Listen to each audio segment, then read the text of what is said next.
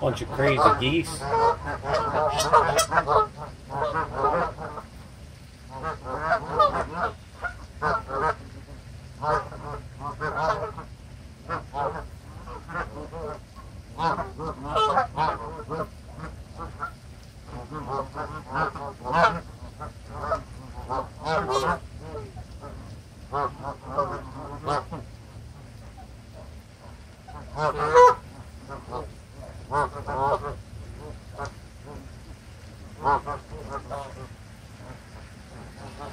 And they quieted down.